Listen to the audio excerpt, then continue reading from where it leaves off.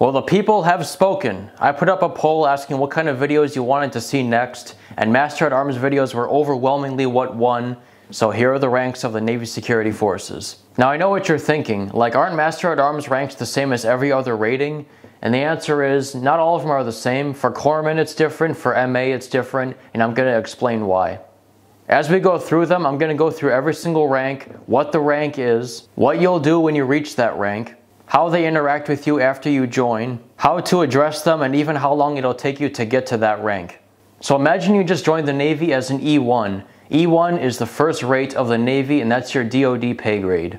A lot of people confuse rate, rank, and rating, especially when they're filling out paperwork and it says in a box like rate slash rank. Think of it the same way as male slash female or single slash married. It's asking you which one. Rank or rate male or female, single or married. I remember in A school one time they handed out papers to everybody and it had a box and it said put down your rate and everybody put down MA.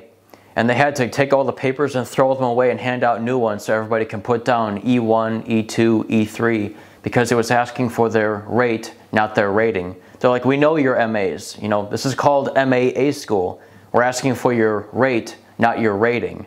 For the Army, Air Force, and Marine Corps, the term rank goes for every single spot, every pay grade from E1 all the way to O10. But for the Navy and Coast Guard, only officers have rank. So like O1 through O10 are ranks, and E1 through E9 is all rates. So that explains the difference between rank and rate, but then there are also ratings. The rating system for the Navy and Coast Guard is the same as the MOS system for the Army and Marine Corps and Air Force. It's what job you have. So when you first join the Navy, you have the rate of E1, which is Seaman Recruit, but you have no rank because you're not an officer, and you have no rating because you haven't completed A school yet. Now it is possible to join the Navy as an E2 or an E3, but how to do that has already been explained multiple times on this channel, so it's redundant to cover it again. So after you join, you're going to be E1, E2, or E3, Seaman Recruit, SR, Seaman Apprentice, SA, or Seaman, SN, until you graduate A school. At that point, you finally have a rate and a rating. It's kind of like a math problem where they put it together, and it's Master at Arms, Seaman Recruit, Master at Arms, Seaman Apprentice, and Master at Arms, Seaman. Now in the old days, in order to make E4, you had to pass the advancement exam, which is literally a test testing your knowledge on your rating in order to get promoted or you had to get mapped to make E4 and they got rid of both of those things with the sickness of 2020. You still have to worry about the exam and being mapped to get to E5 and above, but for E4, they're gone. Now you probably noticed that I put E1 through E4 all into one lumped up category, and there's a good reason for that. It's because for Master at Arms, that's basically the junior sailor category. They're all the people that man all the posts around the base and it's really only a difference of experience by a little bit from E1 all the way through E4 in most cases. Once you get to E4, you start to see a real difference of how people take their career from that point because up until then, you're only responsible for yourself and it doesn't really matter if you just go to work, do your job, and then go home. But some E4s are kind of comfortable there. They just kind of stay around. They still do the same thing as an E2 would, where they come to work, do their job, and go home and you see other people that are grinding, they're doing volunteer opportunities, they're helping to teach people English off base, they're doing all kinds of different things, and they're really, really trying to make E5, which you can't just wait to get like you could for E1 through E4. For E5, like I said earlier, you had to pass that exam or get selected by your command to get promoted. So some people really grind hard to get it early. At the same time, you see a bunch of people that are E4s and they're sometimes on their second and third command and they don't really care to be promoted. They just want to relax and not take on responsibilities. Not everybody wants to be responsible for 10 other people. Not everybody wants to be in command of a post or something. They just want to still be like a, a junior person that comes to work and goes home. And, you know, that person eventually is just going to be overrun, passed up in the race by somebody that's trying really hard to get promoted. And they're going to get it, and the other person's not.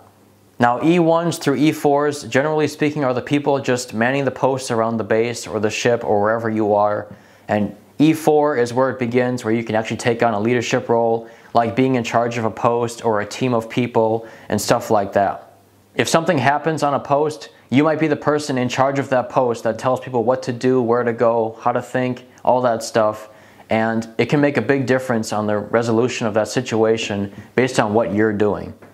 E3s and below can get the same qualifications as anybody, but an E4 and above is more likely to actually stand that post instead of just hold a piece of paper that says they're qualified to do it, but never get a chance to actually do it. Now, generally speaking, from E1 to E4, nobody's going to call you by your rate. Nobody's going to say, hey, MASA, MA3, unless they're a boot or something. They're going to call you by your name still. Like, hey, Smith, hey, Beck, get over here. You know, that's just the way it is.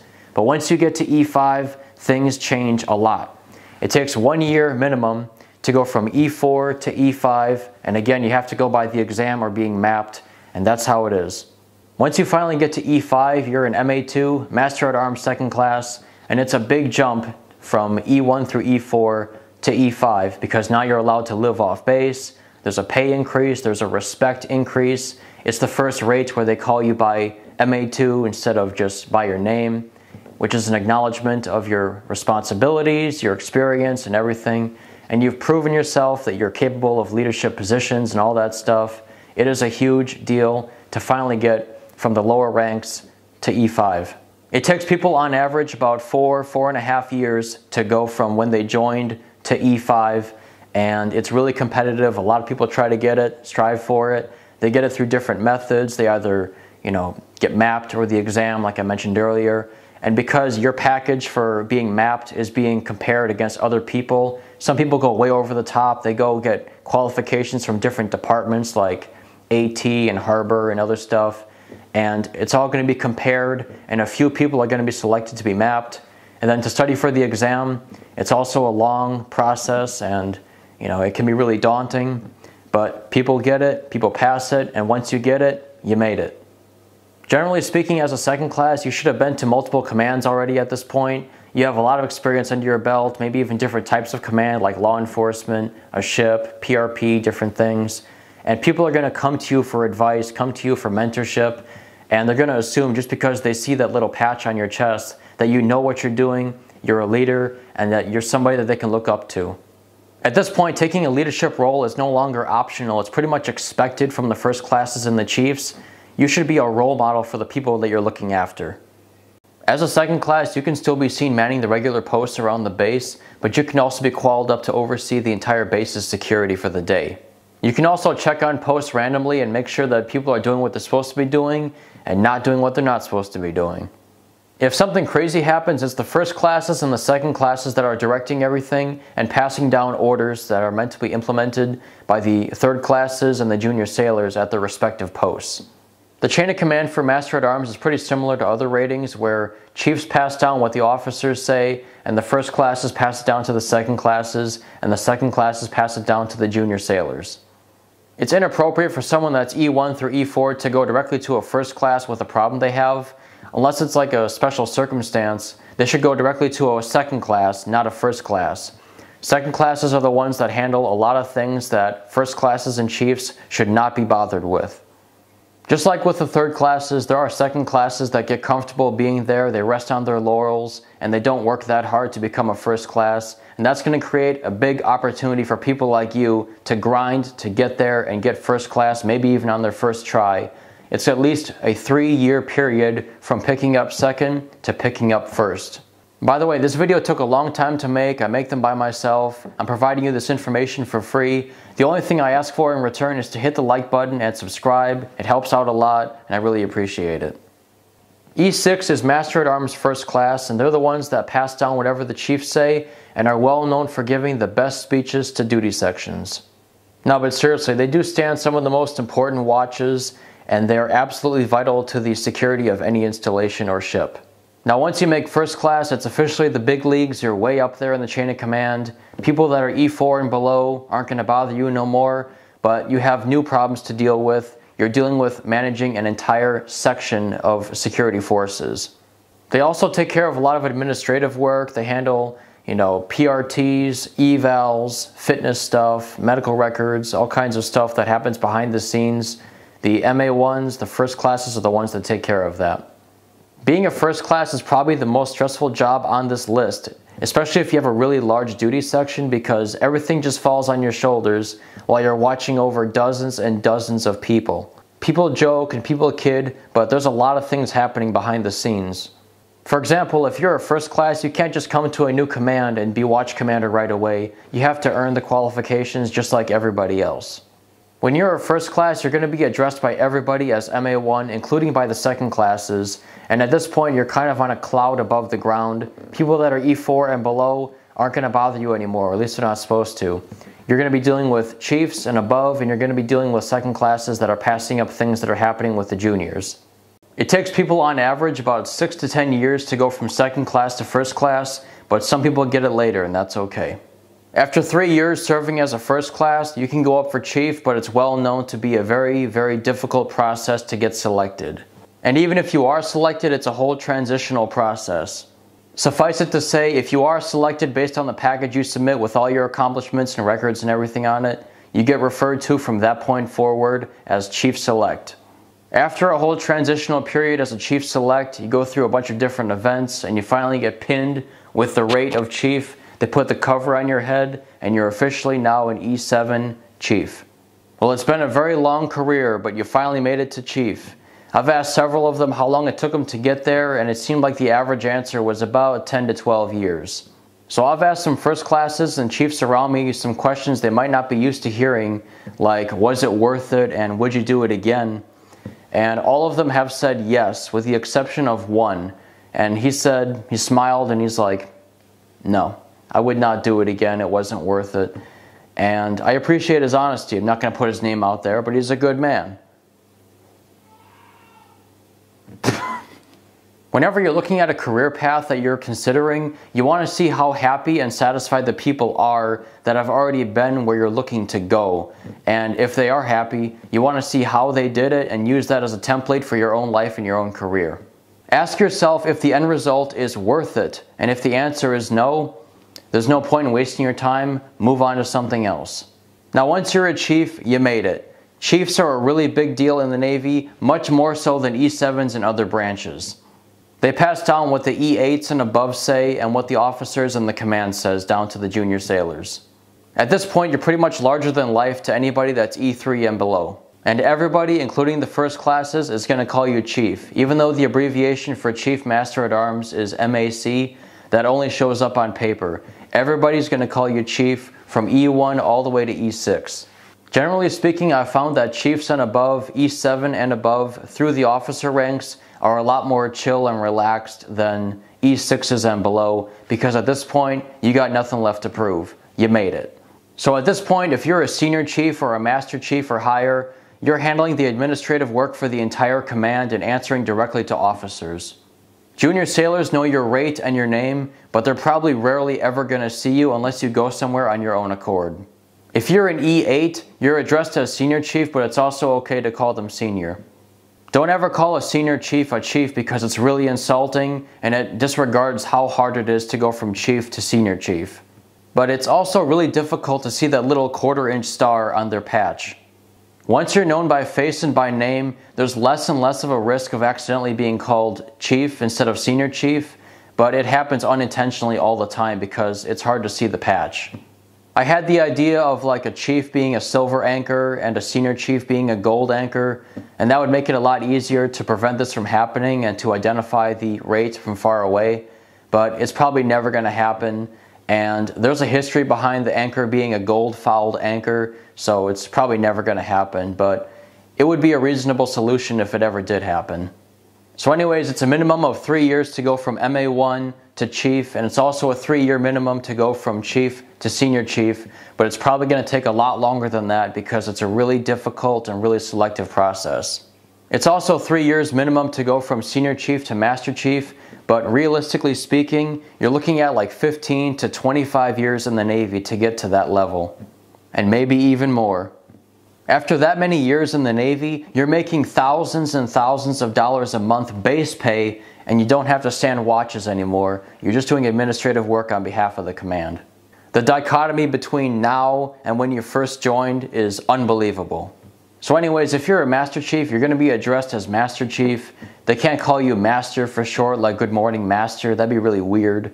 But Master Chief is Master Chief, and that's how you address them. Now, theoretically, it's possible for there to be a Force Master Chief, a Fleet Master Chief, or higher that's a Master at Arms, but I've never seen it on paper, online, or in person, with one exception.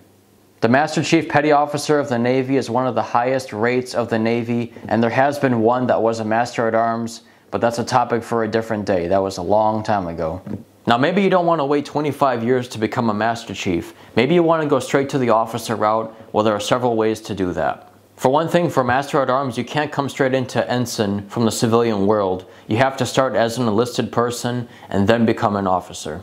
For other jobs like surface warfare, it's possible for someone to graduate university, walk onto a ship or a base with only basic officer training and no real world experience. And that person, on paper at least, outranks people that have been in the Navy for 25 to 30 years. But as a Master at Arms officer, all of them are previous enlisted. That gives every Master at Arms officer a more fulfilling experience because to them it's not just theories and textbooks. They can look back on their own enlisted service, what they liked about the job, what they didn't like, and put that into perspective and implement controls based on that experience. Now, a lot of the current senior Master at Arms officers are people that actually came from different ratings, like Signalman, which isn't even an independent rating anymore. But after 9 11, the rating was opened up and a lot of people transferred over from other ratings. In order to become a Master at Arms officer now, you need to be prior enlisted as an MA. There are several ways to become an officer, which is referred to as being commissioned. One way to get commissioned is the STA 21 program, Seaman to Admiral 21 program, where you go to college while you're still active duty and then you can transfer over, get commissioned, and you're an ensign. Another option for you is to go to the reserves, go to college full time, and then go to OCS from the reserves back to active duty to serve as an officer.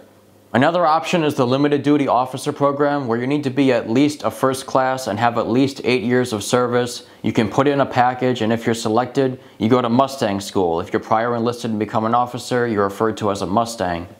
Sometimes you even see prior enlisted officers and they have a belt buckle with a Mustang on it.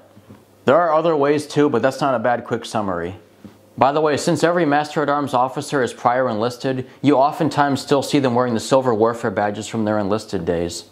Officers can get the same warfare devices as enlisted people, but the officer ones are gold and the enlisted ones are silver. It is possible for officers to upgrade from the silver ones to the gold ones, but some of them never really upgrade. They keep the silver ones on their officer uniforms instead of the gold ones to kind of have an I've been there and done that kind of look, I guess. So besides the full commissioned officers, there are also warrant officers, but they're really, really rare to see. I've personally never seen one in person that's a master at arms, but I guess they do exist.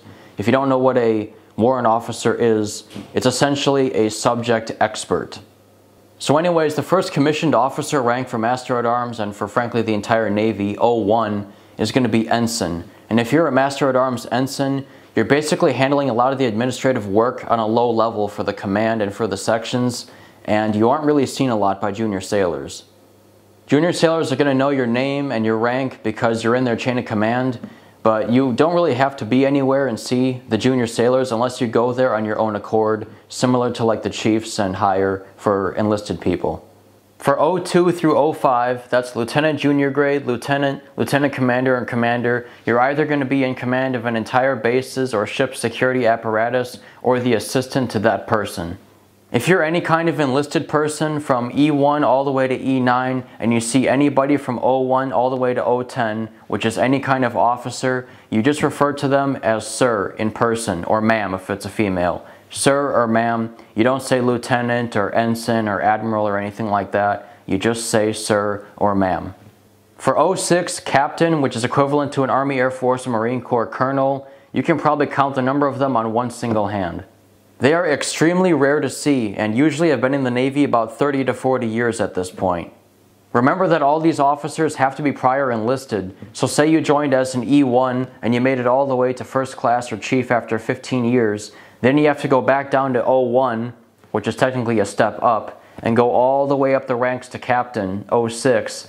That's another 15 or 20 years. You're talking about like 30 to 40 years in the Navy to get to this level as an MA. It's literally like having two careers in one single life. I've only met one Master at Arms captain so far. He was in my A school graduation, and besides that, I've only seen a picture of one or two more online. At this point, if you're a Master at Arms captain, you're in charge of security at the highest level, and the person in command of all of Naval Security Forces is an MA captain. As far as I know, there are no Master at Arms admirals, so the entire ranking structure stops at this point. So that's the story. I hope you enjoyed this and stay tuned for more.